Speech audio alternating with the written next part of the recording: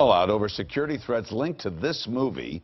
It's due to hit theaters in just days. The star-studded New York City premiere for the interview has now been canceled, and the theaters around the country are beefing up their security. There are plans for that. The eye opener Jim Lokay is in Burlington this morning with what we have learned overnight. Jim.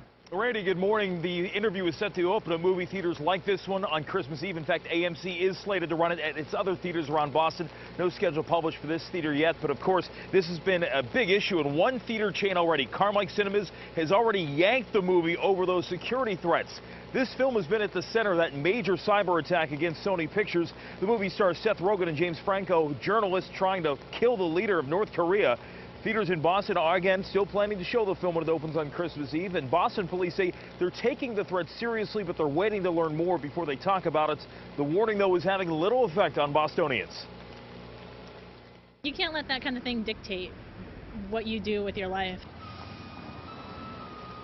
Homeland Security says there's no credible information of a threat to theaters in the U.S., but major cities like L.A. and New York are beefing up security. As for that chain that yanked the movie Carmike, they only have one location in New England. That's up in Londonderry, New Hampshire. We're live in Burlington this morning. I'm Jim Lokay, WCVB News Center 5.